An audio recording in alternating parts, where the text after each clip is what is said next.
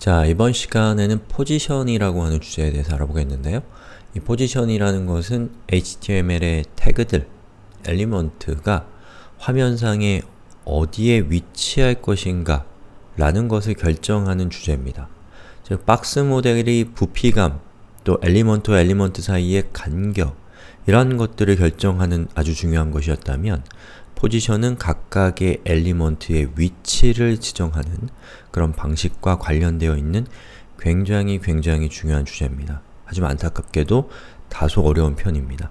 하지만 뭐 천천히 보면 다 이해할 수 있어요. 자, 저는 포지션 underbar 1.html이란 파일을 만들었고요. 이렇게 생긴 내용으로 시작을 하겠습니다. 자, 그리고 음, 일단은 어, 우리 html이라고 하는 저 태그에게다 border 값을 줍시다. 1픽셀 solid 음, gray 이렇게 하면 안되죠. 스타일이 빠졌습니다. 자, 그리고 요거를 올리고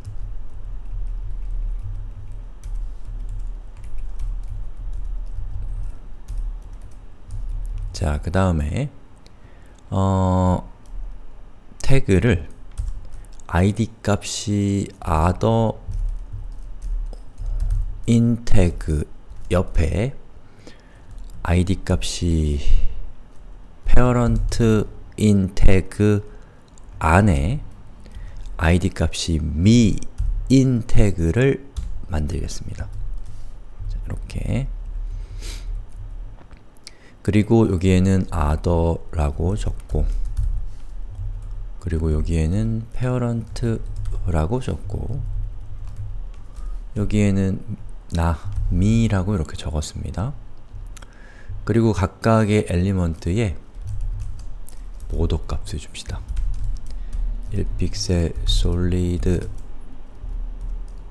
어, 토마토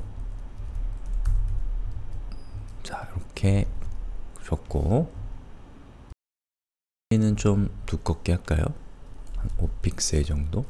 10픽셀 과감하게 자, 5가 낫겠네요 자, 그리고 여기에 대한 마진 값을 또 줍시다 마진 마진은 10픽셀 정도 이렇게 주면 그 관계가 그때 딱 드러나죠? 예, 이렇게 생긴 예제입니다. 그 중에서 우리는 요 me라고 하는 저 element를 이동시킬 거예요. 왼쪽으로 이동시키고 오른쪽으로 이동시키고 위아래로 이동시키는 걸 해볼 겁니다. 자, 우선 me라고 하는 element에 대해서 제가 포지션, 포지션이 아니라 저 element의 element를 오른쪽으로 옮길 때는 left라고 하는 속성을 씁니다. 그리고 left의 속성으로 속성 값으로 제가 100픽셀을 지정을 하면 여기 있는 me라고 하는 저 태그가 원래 움직여야 돼요. 어떻게? 어, 왼쪽이 100픽셀이니까 이 왼쪽으로부터 100픽셀만큼 떨어진 공간으로 이동을 해야 됩니다. 자, 이러한 값을 뭐라고 하냐면 offset이라고 불러요. 자, 명칭이 그렇게 중요한 건 아니죠. 그리고 top, 백, 픽셀이라고 하면 제가 원하는 것은 offset이 위쪽에 생기면서 여기 있는 이 태그가 이렇게 100픽셀만큼 내려오게 하는 겁니다. 자, 그게 안 되는 이유는 요걸 안 해서 그래요. 우리 수업의 주제입니다. 포지션 그리고 relative라고 이렇게 하는 순간에 우리가 지정한 100픽셀, 100픽셀이 지정돼서 여기 있는 me라고 하는 텍스트가 이리로 이동을 하게 됩니다. 만약에 저 me라고 하는 태그를 오른쪽, 오른쪽으로 보내고 싶다. 그러면 여기 있는 left 값을 right 값으로 바꾸면 돼요. 만약에 left 값과 right 값이 동시에 있다. 그러면 left를 따르네요. 예, 뭔지 아시겠죠? 그리고 위쪽으로 올리고 싶으면 얘를 탑이 아니라 bottom이라고 하면 되고 만약에 탑과 bottom이 동시에 있다. 그럼 누굴 따를까요? 이렇게 되네요. 순서가 상관이 있을까요? 순서가 상관이 없죠.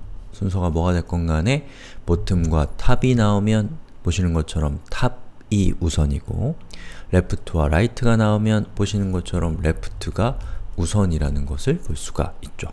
자, 아무튼 그렇다면 right와 어, bottom은 없애버리고요. 이 두 가지만 남겼습니다. 자, 그리고 여기 있는 포지션 값을 제가 다시 없애보면 보시는 것처럼 left와 top 값이 무시되는 걸 볼 수가 있어요. 자, 그것은 왜 그러냐면 기본적으로 그 CSS에 각각의 element들은 포지션의 기본 값을 갖고 있습니다. 그 값이 뭐냐? static입니다. 여러분이 static이라고 지정을 하게 되면 각각의 element는 left, top, bottom, 뭐 right와 같은 offset 값을 무시하고 딱 자기가 원래 위치해야 되는 그곳에 정적으로 영어로는 static하게 위치하게 되는 겁니다. 아시겠죠? 그리고 만약에 여러분이 음, 원래 자기가 위치해야 되는 그곳, 부모 element의 아래죠. 그 위치를 기준으로 해서 자기가 있어야 되는 위치를 기준으로 해서 상대적으로 100픽셀만큼 왼쪽으로 가게 하고 싶다. 또는 위에서 아래로 내려가게 하고 싶다면 여기에 포지션의 타입을 relative, 상대적인으로 지정하시면 그렇게 되는 것을 볼 수가 있죠. 아, 이것이 relative position의 사용법입니다. 여러분이 레프트와 탑과 같은 오프셋을 사용하기 위해서는 최소 relative라고 하는 포지션 타입을 지정하실 필요가 있습니다. 그리고 여러분이 포지션 타입을 지정하지 않았다 라고 하면 그것은 static이라고 하고 우리는 이렇게도 얘기합니다. 위치와 관련된 설정을 하지 않은 상태 예, 무슨 말인지 대충 아시겠죠? 자, 이거 되게 어려운 주제입니다. 예, 그리고 뒤에서 우리 몇 가지 형태의 포지션 타입을 더 살펴볼 거니까 여기서 수업 더 나가는 것도 중요하지만 제가 설명드린 거 다시 한번 스스로 설명해 보시고 다른 사람한테도 좀 설명해 보시고 여러분이 직접 이 예제도 꼭 한번 짜보세요. 아시겠죠?